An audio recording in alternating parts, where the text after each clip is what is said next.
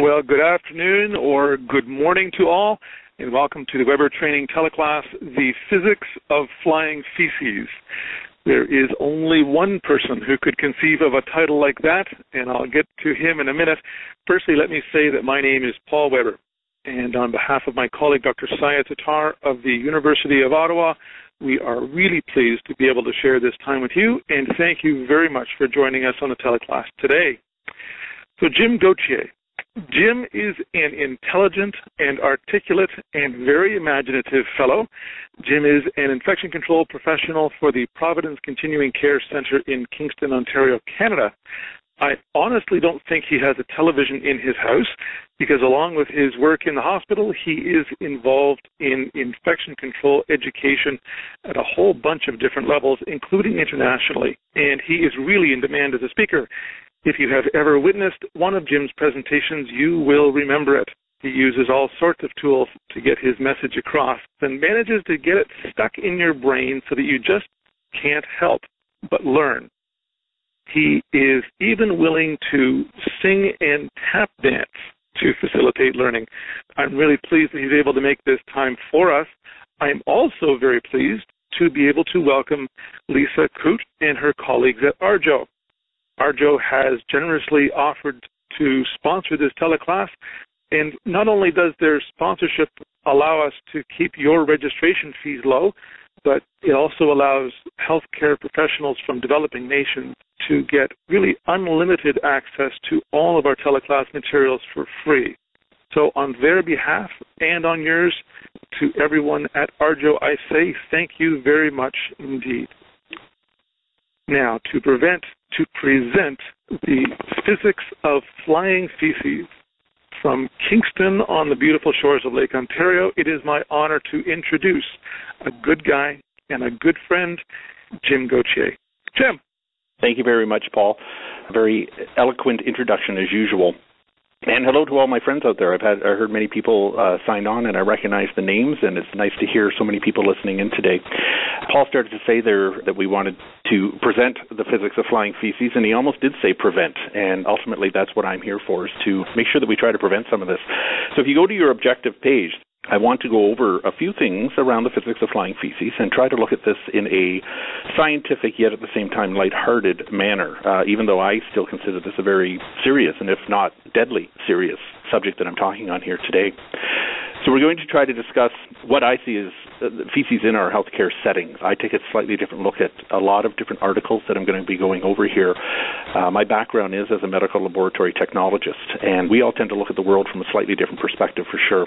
And we're going to look at the issues around having organisms from feces in the environment and how it affects both patient colonization and disease transmission. And we're going to look at possible solutions. I don't want to leave everyone hanging, and I don't want to go off on a rant and just worry about things like this, but I do want to offer some suggestions too. So if we go to our next slide, I've discovered this wonderful website called dictionary.com, and uh, you can look up almost any word here. We all know what I'm talking about when I use the word feces. And again, this is the kind of a presentation that I could lapse into using a lot of slang, and we will try to keep it on the medical tilt here for sure. It is nice to know that the word's been around since the early 1400s, and that it does come from Latin meaning grounds, dregs, and sediments.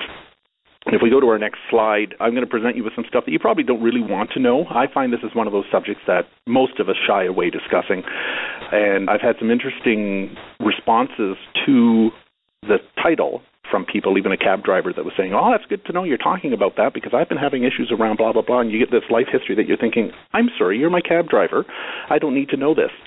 So I'll present you with some stuff that you're probably going to go, I don't need to know this, uh, such as the average person does pass between uh, 100 and 250 grams of feces per day, and that this occurs from once every two or three days, and in some patients much longer than that when we have to intervene, to our other end of the spectrum where we have patients that will present to us some fecal matter several times per day, usually at very inopportune times. And the picture here is actually a scanning electron micrograph of fecal organisms as they clump together, and you can see the variety of different shapes that are present there. Our next slide goes on to some more stuff that most of what we do pass per rectum is water, uh, which I was surprised to find. And 30% of your remaining solid that we do pass is bacteria. And the number there, 1 times 10 to the 12th, is something I tend to use in most of my infection control presentations to remind people that even a very, very small amount of feces in the environment can be lots of bacteria. Because if you take 1 times 10 to the 12th per gram and break that down to a microgram, which is 1 times 10 to the minus 6, you're still ending up with 1 times 10 to the 6, or a million bacteria in a microgram of feces. And you can see my puppy there is quite surprised that you would have that much lying around. If we move to our next slide, what do we do with this fecal matter that's generated on a daily basis throughout the world? Well, the evidence goes back to 26th century BC, where in areas around Pakistan and present day India, there is evidence that there was a flush toilet in people's houses, and it was attached to a common sewer system. On the next slide, even in 15th century BC, in Crete, there's evidence of flushing toilets. And coming closer to modern day, the Roman Empire had evidence of flush toilets also. And somehow we lost this technology. And this is one of the makes me stop and shake my head going, how can we lose flush toilets? And it also reminds me of a Monty Python sketch. Any of you that have viewed Life of Brian, uh, they go through a big long thing about what did the Romans done for us. And this is one of the things that comes up is they did give sanitation to the world. Somehow we lost it. So we will continue on looking at uh, people that had some effect on what we presently do with our fecal matter. John Harington is given credit from 1596 with the basic design that we have today, where water comes down, flushes the fecal matter out of the receptacle, and it disappears to be worried about by someone else. And that's what most of us tend to do. We don't really worry where it ends up, and we'll be looking at some of the issues that comes from keeping our heads in the sand that way. The next slide looks at some of the more modern looking toilets. Modifications were made through the 1700s, and we have Albert Giblin that got a patent in 1819 for the silent valveless water waste preventer, which I'm really glad someone shortened that to toilet because I would have trouble mentioning that numerous times over. And the picture here is actually what his basic design that he patented looked like. On the next slide, I was surprised to find out that Thomas Crapper did not invent the toilet. I had always been using him in my presentations as being the father of our current flush toilet. He did do some modifications in terms of patent and that kind of thing, and the phrase crap was long in use before he came along. That's just trivia for you to play on your friends. So we look at the next slide. Uh, what is the problem that we're talking about here? And I took the poster from Flight of the Phoenix, and I've changed this, if you notice carefully, to Flight of the Feces. I've recognized now for a while that we don't handle our fecal material properly. And if we go to the next slide, we don't present our patient with a whole bunch of different options as to how they are going to get rid of their fecal material. Patients really just have a few choices. They can use the toilet in the room, and in many of our hospitals, probably most of you have patient rooms, be it in acute care or long term care, where they share a toilet with someone else. We provide them with a commode for the mobility impaired to use at bedside. And again, this may be shared as much as we like to think that won't happen or that the commode chair is cleaned diligently between uses. I think most of us can admit to some horror stories where we find that commode chairs will be used between patients, commode chairs will move between rooms. I have stories told to me where commode chairs actually move between floors without being cleaned properly. And this is talking about the overall structure of the commode chair. Well, we generally clean the bucket. We would not put a patient down over top of a dirty receptacle, but the arms, the seat, the under the seat area, in many cases, isn't being cleaned properly. Now, we also have the bedpan and that leads to huge issues as to what we do after there is something in the bedpan and where do we store them. And in many facilities, our bedpans are not single use. Bedpans are used numerous times. They're rinsed out uh, and then put back into washroom, into brackets. They are put into bedside tables. They're hidden in numerous places that I probably don't want to know about. If we go to our next slide, we also allow our patient a choice of using an incontinent product if that is what is required. And again, I've just used a lot of these pictures here without talking about any specific brand. I was just searching through Google looking for some of these devices.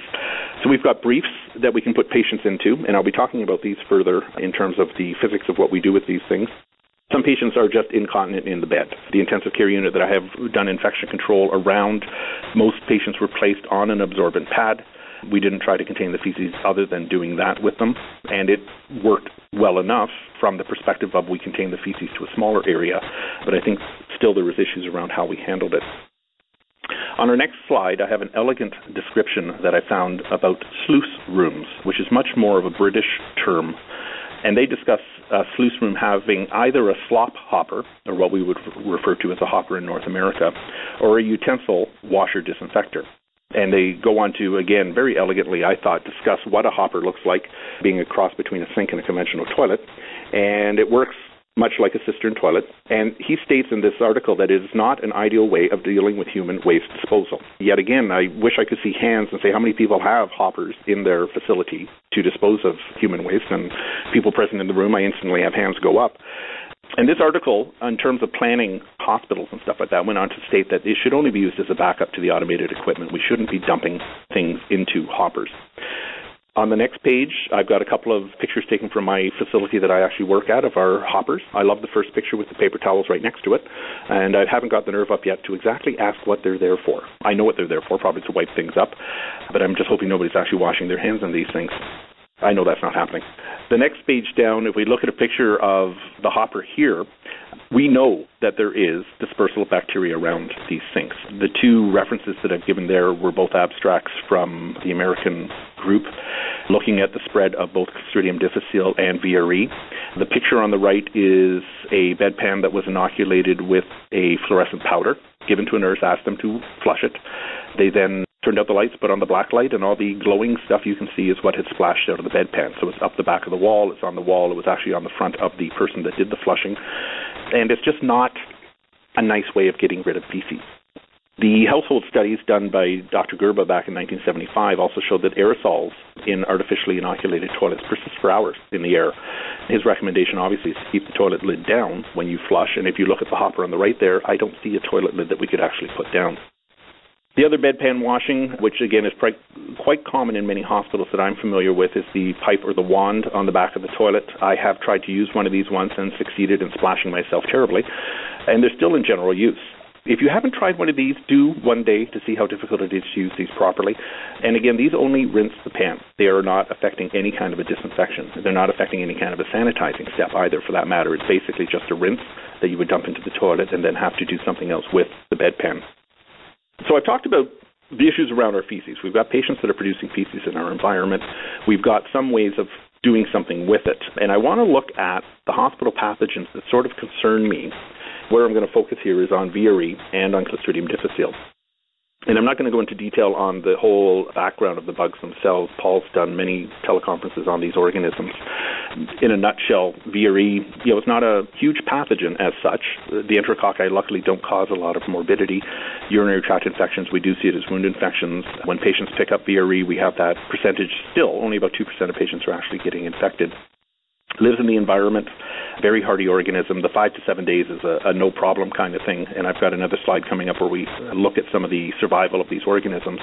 And it is reasonably easy to kill with hospital grade disinfectants. It is, after all, a vegetative bacteria. The next slide goes on to talk about Clostridium difficile. And if we look at Clostridium as an organism, it is built to survive in the environment because of the spore that it contains. And this allows, at the spore stage, uh, for the organism to survive, and it makes it resistant to our hospital grade disinfectants. I put down most hospital grade disinfectants, and again, the more I read on this, I really think the spore is resistant to our hospital grade disinfectant, uh, what we would normally use in our cleaning and disinfection of the environment. The vegetative bacteria are the ones that we can aim at trying to kill in the environment. The problem is, is why we're trying to kill them, they are sporulating. So if we're using something that doesn't kill effectively, we end up with the spores actually forming while we're trying to take care of the organism. Other things that will cause the vegetative bacteria to sporulate are things such as the drying, the antibiotics, the temperature changes. And the vegetative cells are easy to kill, It's just a time factor. And there's some studies done where they actually look at how disinfectants cause the bacteria to sporulate. If we move on to our next slide, other fecal fellows, as I refer to them, are the gram-negative bacteria. A lot of the organisms that we in the microbiology lab have to get rid of to find out if there's pathogens there are the bacteria that are listed here. And when I start seeing these names, in patient specimens, again with the microbiology background, to me, I always think feces. So an E. coli urinary tract infection is probably E. coli from the rectum getting where it doesn't belong and causing a urinary tract infection. Klebsiella pneumoniae, the Enterobacter, the Citrobacter, the Proteus, the Providencia, the Serratia are all organisms that you can find in feces. All aren't truly coliform organisms by definition, um, because coliform organisms generally ferment lactose, and that goes off in another tangent that I won't touch on, but they are all gram negative bacteria.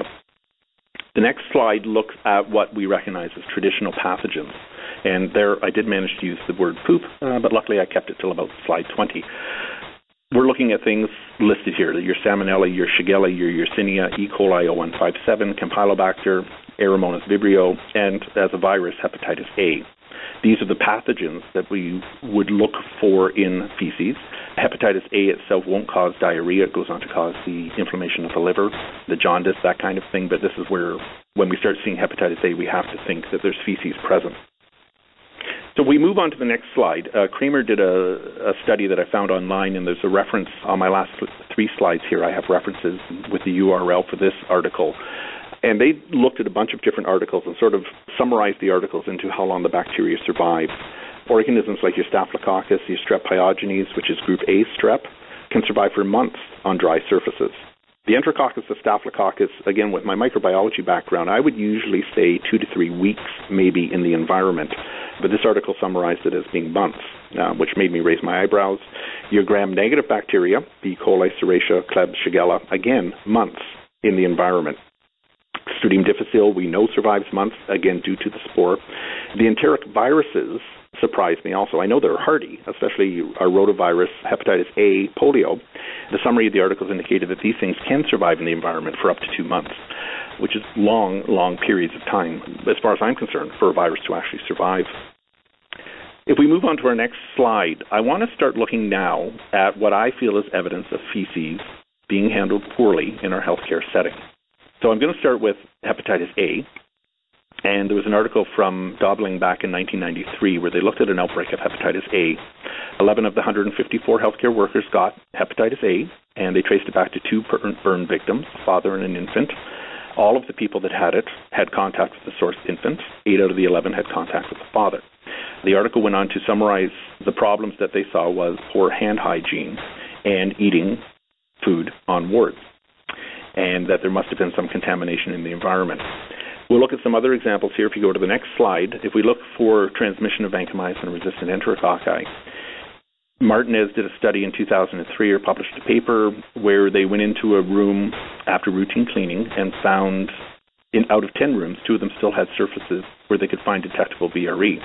In the one room where it was found was on the light switch, the toilet flusher, the telephone, and the bathroom faucet.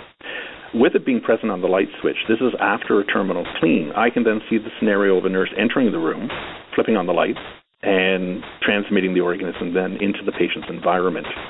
And this could explain how, if we haven't cleaned a room properly, patients end up with things like VRE, MRSA, even Clostridium difficile, where they may not have had direct contact with a patient. I remember there was a period of time when I was working at an acute care hospital where we did try to tr- keep track of who went into a patient bed space to see if there was some transmission happening that way. And unfortunately, just with the amount of other things happening, I don't think we ever followed that up to show that the bed space was the cause. Generally, we could show that sharing space with a patient was part of the transmission problem, but not necessarily following a patient into a bed, whereas this article is showing how that very easily could have happened. So we go to the next slide. They took a look at a rehabilitation facility, Trick, in 2002, and when they went through the rehabilitation facility, 15% of the surface sampled had VRE, and it was generally related to the patient colonization status. But again, just showing that this organism, which is normally only present in feces, was being found throughout the environment. If we go on to the next slide, Zachary did a wonderful study where they did a structured physical exam of VRE positive patients. And they asked the doctors to go in, take a listen to the chest, palpate the back, abdomen, and lower extremities. And lo and behold, they could find the bacteria on the doctors. And the next slide summarizes where they could find it. Basically, 67% of the time when they checked, they could find VRE. And it was present on what you would expect the gowns, the gloves, stethoscopes. And in 24% of the cases, all three of those areas were contaminated with VRE. And this paper helps support the whole concept of using contact precautions in a patient's room where you know that they have something, but it begs the question of what we're doing in patients' rooms when they are colonized but unrecognized. The presence of an ileostomy and colostomy were obviously linked to the contamination, which is being linked to the amount of feces that we may be getting into the patient's bed space that won't be going into a washroom. And the nice thing from that article that I put on here is the last bullet is when they took a look at the stethoscopes after being wiped with an alcohol pledget, uh, that took care of the VRE in all cases. And they were suggesting that this just becomes a routine when you come out of a patient's room. I think they were referring to the VRE that you take your alcohol pledge pledget, give your bell of your stethoscope a wipe off just to take care of anything that you might have picked up. And again, you have to remember this here, they were just listening to the chest and palpating the abdomen. So the feces was being picked up through the chest area. And again, I know the ileostomy and colostomy were related to that. If we look at the next slide, am I worried just about the patients? Well, no. There's a picture of my lovely family uh, last year at Easter. Barron did a study looking at the presence of VRE in healthcare workers who have worked with patients who had VRE, and then they also obtained rectal swabs on family members and found that there was the same VRE present in the healthcare worker and in their families. So there was some transmission happening in the home.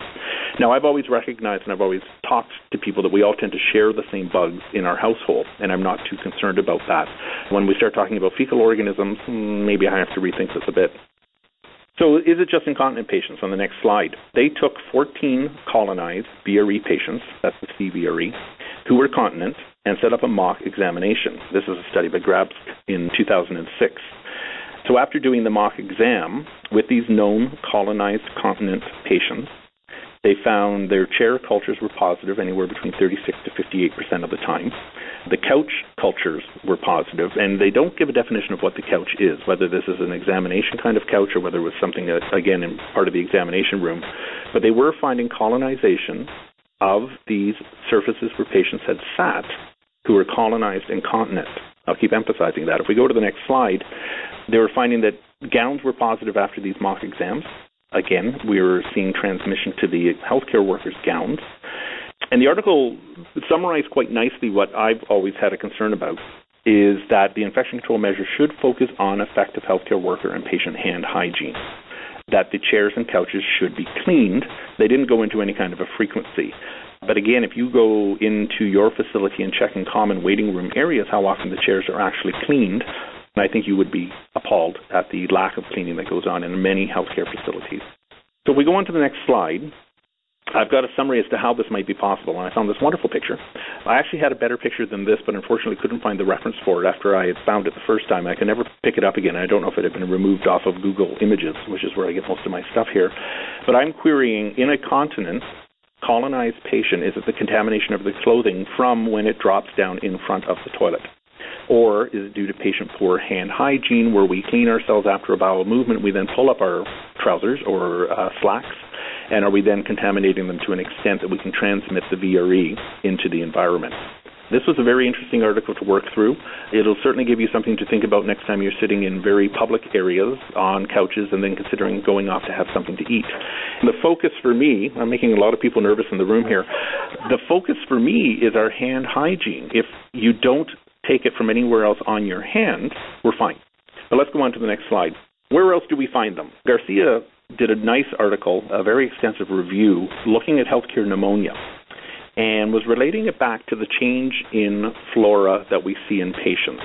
And I read this article with a slightly different looking eye. The first statement that I found in here was a gastric colonization, where they found gram negative bacilli, those organisms that come from the feces, starting to colonize the gastric area, which would be the stomach area and down.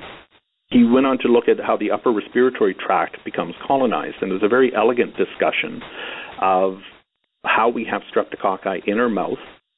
It is there, sort of blocking any kind of receptor for other things to come in.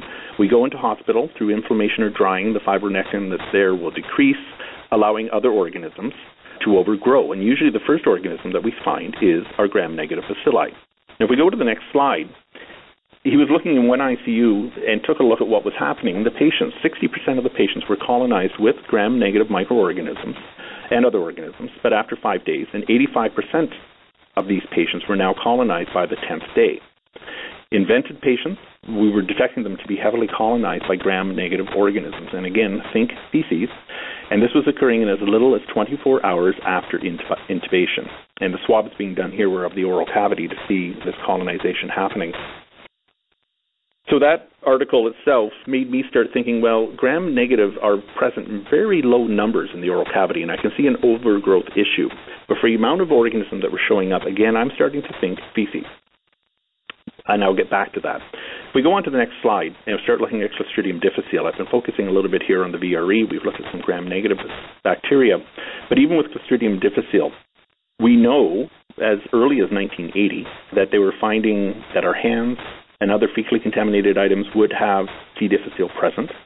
The Secady did this study where they were looking at what the infective dose was using hamsters to infect them. And again, this is back in 1980. Uh, when I came out of lab school, C. difficile was not really being talked about when I was in my first provincial lab that I was working in in Calgary. We were just starting to get to the point where we were growing Clostridium difficile and utilizing that as detection. For the long while, it was just considered a bug that you would find every once in a while in the feces if you used the right media. So they were looking back in 1980 as what this bug was and what it was doing in terms of causing diarrhea in the presence of antibiotics and found a very low infective dose in hamsters if there was antibiotics present. They found that a fairly high dose of 1,000 colony forming units orally did not colonize nor did it infect unchallenged hamsters, meaning they had a normal intact gut and the organism would not hang around to colonize, nor would it actually cause diarrhea if they were not exposed to antibiotics. Through the study, they were looking at the relationship with lactobacilli and other gut flora, seeing if there was some sort of a relationship back and forth, and they didn't come to any conclusions then in 1980 on this stuff.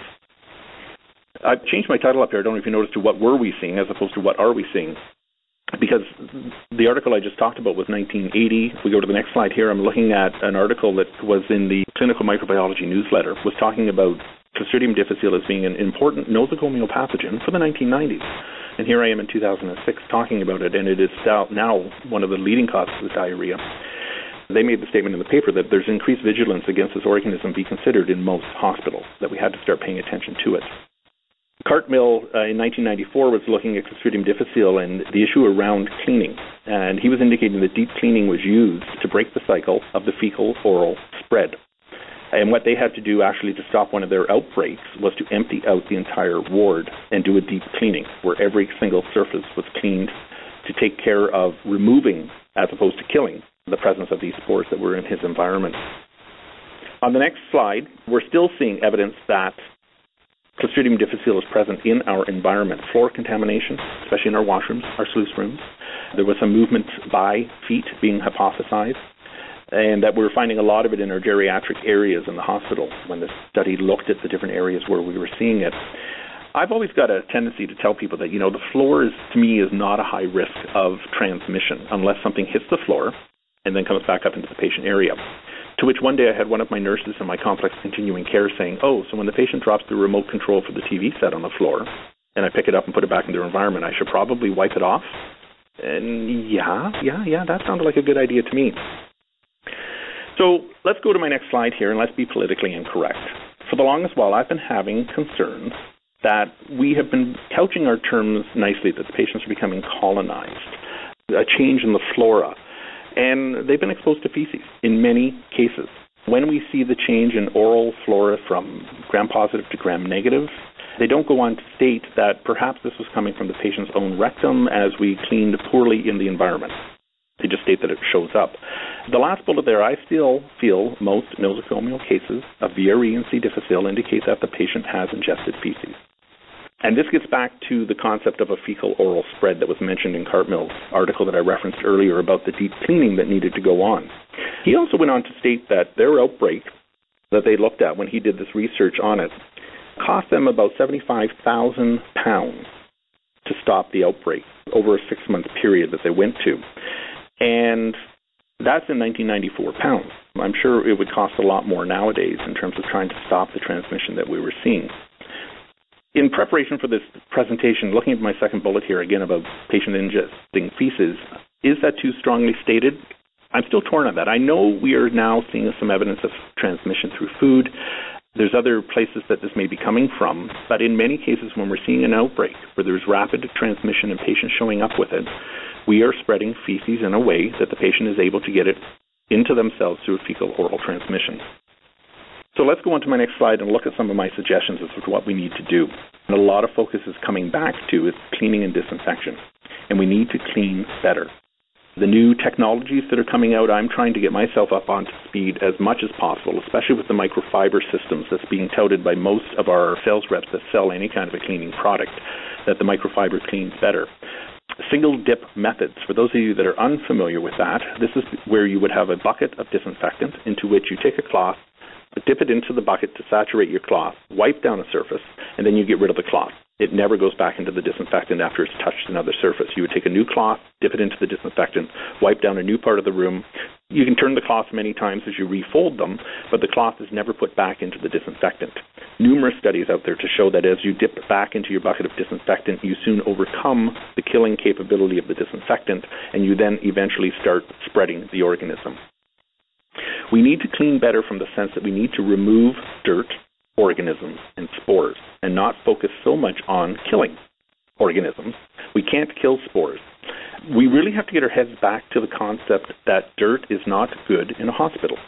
It's just not good, from my perspective, to be able to find dust in my patient's environment. In terms of cleaning effectively, there's the three studies listed there looking at how we can make our housekeeping better. We need to have well trained staff a training program done by a trainer. In many cases, the person, the new person assigned to the housekeeper is taught by that housekeeper and learns their methods. And the housekeeper who's teaching them was taught by another housekeeper who was taught by another housekeeper. And we tend to get everyone's bad habits in here unless we have a very structured training program. And we need ways of checking the work. Dr. Alfa, in her presentation, I think it was just earlier this year when she was looking at Clostridium difficile, had lovely pictures. If you're a subscriber to this whole series of the Webber teleclasses, you can go back and listen to her presentation and see the slides where they were using a fluorescent marker on toilet seats and stuff like that, and they could grade the cleaning effectiveness of the housekeeper in the area and then modify cleaning techniques if they were finding that there was a problem. If we go to the next slide, we we know disinfecting is not as important as effective cleaning, and we've got I found a reference to actually state that it's, it's instinctual to us. I think that we really have to clean well and not worry so much about the disinfecting. One of my big bugbears for years now has been that we've just cut housekeeping too far in many institutions. I know when budget crunch time comes, traditionally housekeeping is one of the areas that takes the biggest hit. Or we've been privatizing our health care. I found the reference about Florence Nightingale uh, from the Dancer article there from 1999, where she was talking in the 1850s that a clean hospital is a healthy hospital, and that it wasn't good to have dirt on the floor. That when they started cleaning up the hospital floors, the infection rate tended to go down. There is also a movement afoot now in many parts. I was going to state in the uh, in Britain, uh, but I know it's happening throughout the world Whereas we've gone to contract services, many times there's this dip in the quality of our cleaning until we get things worked out as to what is expected from a hospital clean.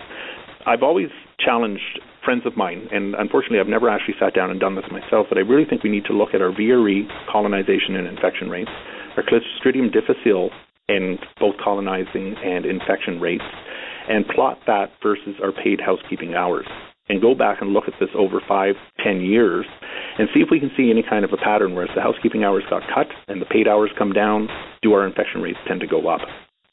It's a hypothesis of mine that we will see a direct relationship between those. So if we go on, I've got issues around the soiling of the patient's environment.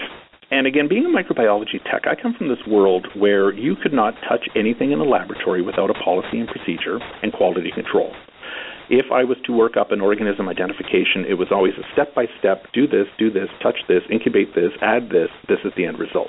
And almost anyone can walk into a microbiology lab, follow the recipe, and do a half hearted identification of an organism. You may not fully understand what had happened. Uh, it helps to have trained technologists doing this, but I'm used to having procedures written step by step by step. And I've done this to industry as to I was at a conference and there was a um, a couple of representatives who sold incontinent products. And I asked the representatives could you give me a written procedure on how to change a patient who has a set of briefs that are full of feces? And there's the dead silence and the stunned look of oh my god who is this man? And they said would that be handy to have and I said, well, as a lab tech, the only diaper I've ever changed is my children. And yes, I got feces on my hand changing my children's diapers. And with my background, I knew how to keep clean, dirty.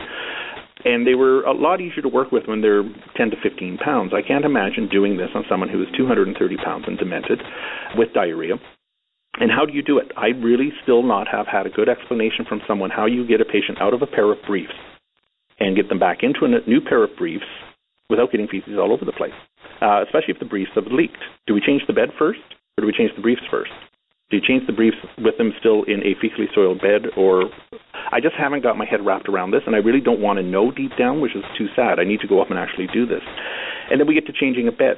When we have an unconscious, vented patient that has defecated in bed, uh, that requires two nurses to move, how many times do you change your gloves through this whole procedure of cleaning the patient, changing the bed, from dirty sheets to clean sheets because I know we can change beds with patients in that.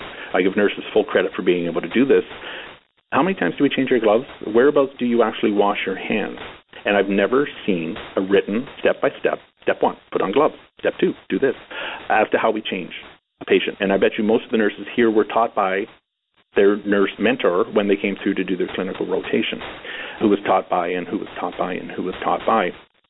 The how we handle bedpans I've got this vision in my head that I need to take a bedpan one day, cover it with red finger paint, and put it on the bed and say to a nurse, okay, that's a bedpan full of feces. Show me what you do with this. So that they can visually see with as they pick it up, they're going to have red finger paint all over their glove. What they have to do, and I bet you they would handle it totally different than when they just have a hunk of feces sitting inside this bedpan with nothing visible on the outside of the bedpan. I had actually challenged one of our sponsors today to come up with a step by step by step how to put a patient on a bedpan and take them off again.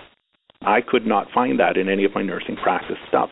I was amazed to find that there are patients that develop a vacuum lock on their bedpan that you literally have to stick your thumb between the patient's behind and the bedpan to break that airlock so that you can get the bedpan out. That to me was never a concept that that would happen. And again, I got a lot of nodding heads going, yeah, that happens.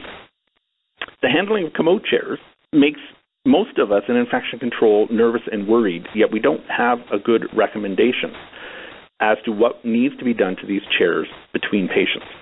Dr. Alfa is working on a study right now where they're looking at what can be done and does it limit the transmission of C. difficile. And I'm hoping to see some results coming from her very soon on what she has discovered. One of the things that she's working with is some form of a pop up disinfectant wipe that can be used between patients. And uh, what kind of success they're having with that, again, I'm very interested in seeing. So we go to the next slide titled The Environment. You know, it's easy for me to say all this kind of stuff. I do recognize that we live in a buggy world. All I'm asking for is clean equipment, being contacted by clean hands. And I'm just trying to limit the movement of those who soil my environment. The obvious soiling that we have going on, a patient with uncontrolled diarrhea should not be wandering the halls of any facility, regardless of what's present in their diarrhea.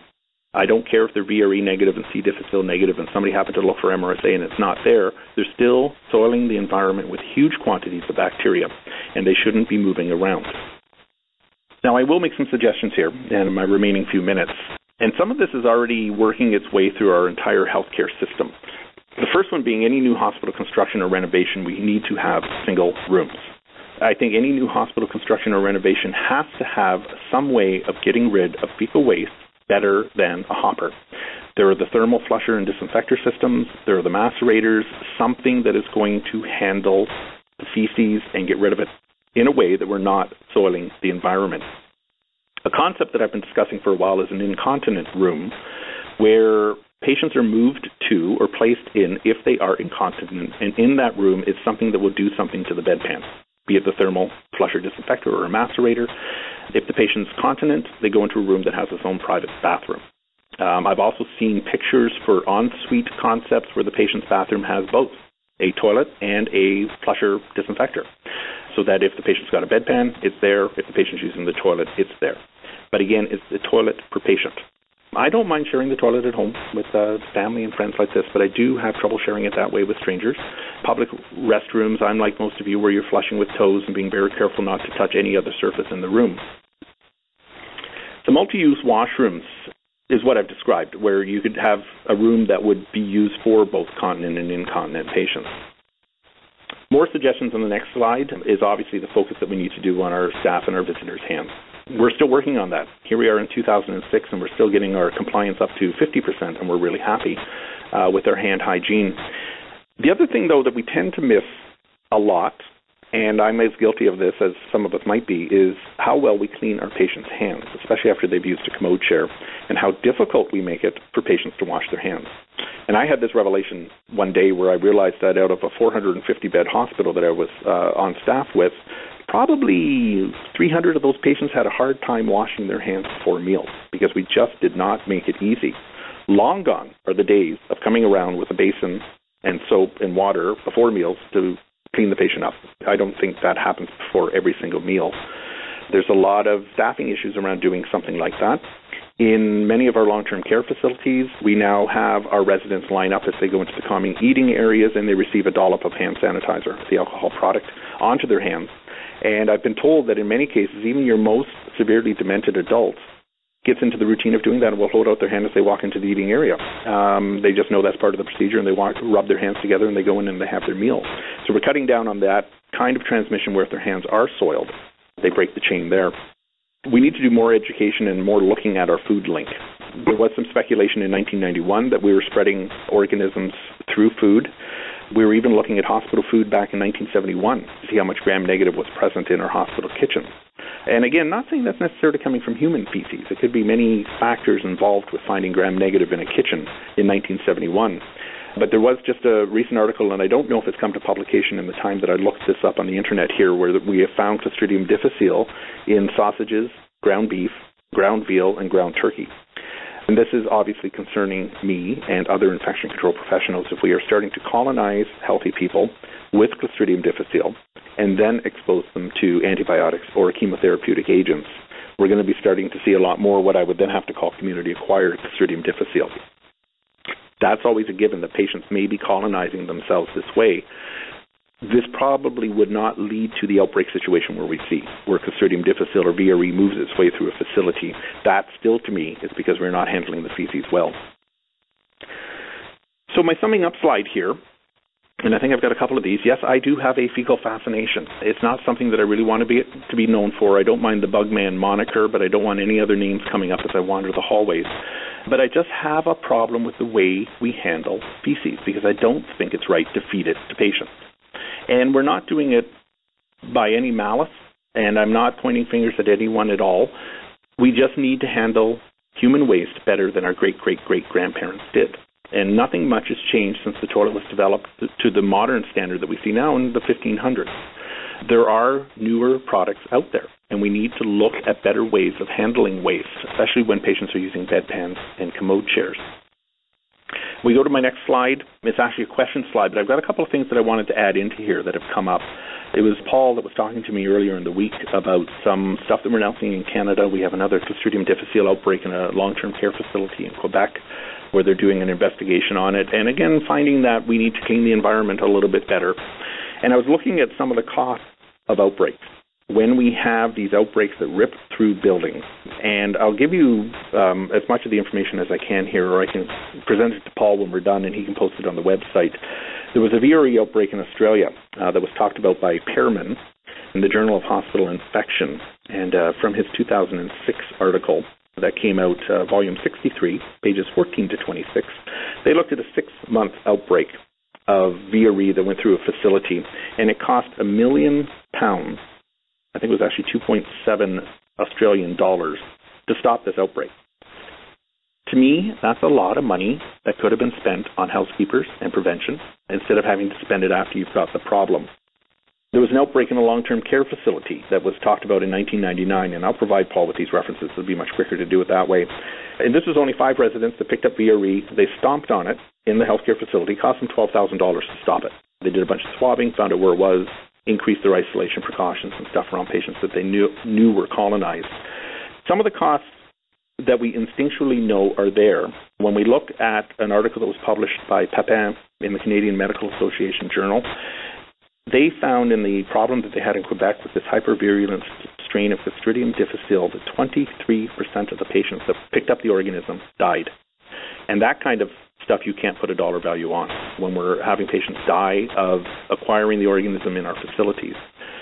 I've talked about some of the answers that we can look at here. I think the bottom line that I want to get back to is we need to clean better and more effectively in our environment so that we do not spread feces around. The hands will carry it from room to room. Poor glove use will carry it from rooms to rooms. I have facetiously, I think it was on the APIC list in one of my rants that I do on there, stated that I'm real tempted to get back to recommending to nurses that we do not wear gloves to empty bedpans. as we used to do not that many years ago, to tell you the truth, because I am sure you can't find a nurse that would handle a bedpan with bare hands that would not wash their hands immediately afterwards. My problem is now we tend to wear gloves and touch things without being aware that we're touching them. Uh, once we have the gloves on. And the education that we've done through the past 15 to 20 years on standard precautions or routine practices, on glove use for any potential contact. We have to be very, very clear as to when you take those gloves off so that you do not soil the environment because it's very, very easy to do.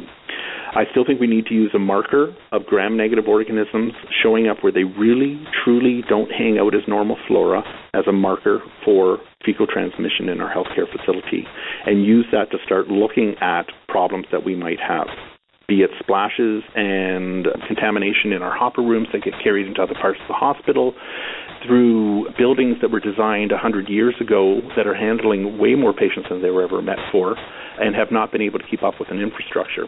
This gets back to any new design. I think we need to get to the all single rooms, which is a recommendation from the American Institute of Architects uh, for hospitals. And the studies that I've seen where they've set up wards like this, where all patients are in single rooms, staff morale goes up, infection rate goes down. And I think we're starting to see the evidence that things are there. So, Paul, I think in the 10 minutes or so that we've got left, I can entertain some questions. Thank you very much, Jim. That was another classic Jim Gauthier teleclass, all at once informative, educational, and frightening. Thank you very much. On one of your slides on hoppers, Chuck Gerba's study there you mentioned on aerosolization. Is that meant to say that the fecal organisms will stay aerosolized, i.e., suspended in the air, or that they will simply spread and stay viable for hours after a flush? Both. Uh, what his article looked at, uh, they used microorganisms, and I believe it was both bacteria and viruses that he utilized to seed the toilets. But they were finding the aerosol cloud that was generated from a flush toilet would hang suspended for between two and four hours and would go at least six feet from the toilet. And they did a bunch of studies have been done around looking at how far. Actually, not a lot. There's about three studies that have been looking at how far toilets splash when they flush. What his recommendations in the articles were, and actually his article has been condensed a couple of times into Reader's Digest articles. It's quite funny to read in there because when they interview him directly and then use quotes from the articles, he's always saying, you know, if somebody in your household has a viral gastroenteritis, they've got rip roaring diarrhea going on, you want to make sure a couple of things. Your toilet seat is down when you flush if you have a vent fan in the room, you turn that on to create a bit of a negative pressure and exhaust it out of the room. And you want to make sure your toothbrush is six feet away from the toilet.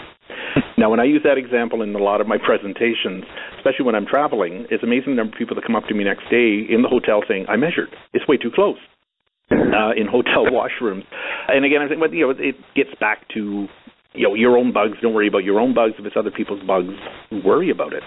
It's a good question around the flushing of toilets. Now, these are the old-fashioned toilets because this study was done in 1975 when we used to when we were allowed to flush our toilets with more than four liters of water. Uh, and I know the United States now the plumbing laws is you have to use low-flush toilets. Uh, which is probably good from the aerosolization perspective. At the same time, most people have to flush three or four times to affect a good flush. There's also studies out there to show the log reduction in organisms by flush because really the number of organisms is decreased by each subsequent flush, but it's by nowhere the water that comes into the toilet I would ever consider drinking. My dog might, uh, but it's not something that I'm actually going to look at doing because I know the bacteria are not removed. It's definitely lowered in number and it probably smells better, but it's not anywhere close to what I would even consider as being clean. So when you look at what's happening with that study from toilets and then you look at a rim flushing sink or a hopper, I've never seen one of those designed with a lid on it. So we know that as we uh, splash the bedpan all over the sides of the hopper and then hit the handle and it flushes and it does this big gagoog, that we're probably generating an aerosol. And if you've got a norovirus problem going through your facility, I would hope your staff would have face protection on, something to cover their nose, eyes, and mouth so that they're not being sprayed with it. And that when they get out of the room, they hose themselves down. That's a, a scary thing to think of. And you think of some of those toilets in a public area that do not have a tank. They're just a flush valve and they don't have a lid. They're just a horseshoe shaped rubber black seat that you sit on and the water comes out of there with tremendous force. It's an interesting area to, to start reading articles on, um, especially when I'm finding articles about school toilets. And I won't go into that at all, uh, other than to say the one study they looked at, about 80% of children refused to have a bowel movement at school because of the conditions of the washroom. I've seen rectal tubes used for ventilated patients and they seem quite effective at controlling diarrhea. Uh, that's, of course, for severe diarrhea. um, but it seemed to work quite well. Have you seen those before? Yes, I have seen those in use. I, am not sure from a nursing and a medical perspective the efficacy of them. More from a perspective, do they cause problems to the rectum itself if the patient moves and this kind of stuff? But I, I know they were very effective at keeping the stool to a reasonably contained area, especially if it's liquid enough to flow into a bag. The issue then still is around how do you change the bags? Where do those get emptied? Do they have to be emptied, or are they sealed and uh, chucked out as a biohazardous waste? Even though the patient's immediate environment may not be covered, we have to be careful whoever takes that tube apart, put on a new drainage system, recognizes that their gloves are horrendously contaminated at that time. Yes, they do limit it, but in terms of stopping the spread of feces in the environment, it probably drops it down if people using them are very meticulous around their hand hygiene. My nurses have some problem bringing the bedpan from the room to the macerator or the disinfector and they're so expensive, so we can't put more than one or two in a, a unit of 44 beds. So, did you do you have any ideas? So, I'm sorry. So I just want to clarify. You're saying that uh, you only keep two bedpans or two? No, no, no. Two units. disinfectors, two machines. Okay. Yeah. So what you're getting back to is the transport of the full bedpan yes. to the area of disposal. Yeah. I've been asked that numerous times, and it seems to come up a lot. I know some of the uh, manufacturers have developed bedpans that actually have a little snap-on lid, so you can carry it through the hallways and stuff like that. Um, I think traditionally, even moving a bedpan to a utility room, you run into the same issue. And I think nurses have told me you generally cover it with something like a towel, a face cloth. Uh, the feedback I'm always getting from industry is they have trouble because the infection control people don't want feces carried through the hallway in case exactly. they drop a bedpan. and I would love to have people email in their horror stories of have you had them in the hallway because to me I would be very, very focused on what I was doing if I'm walking with a full bedpan. I'm not going to be talking to my neighbor or glancing down the hallway or peeking into rooms. I'm going to be a little bit more focused on getting that bedpan down. I've also suggested possible alternative is to use something like a small cart that you could put it on. Uh, that would have to be cleaned afterwards, of course, but it's just another way of transporting the, um, the soil pan to an area I think we really need to look at what is the how many times do people actually drop bedpans and what are the accidents with bedpans because we don't like talking about it. We need to get more of these uh, flusher sanitizers or the macerators into our hospitals so that we don't have to walk huge distances. But the problem is we're trying to retrofit these into buildings that don't have adequate water, they don't have adequate electricity, they don't have adequate drains to put them as frequently as I would like to see. Jim, thanks again for your time and your talent and your intellectual creativity.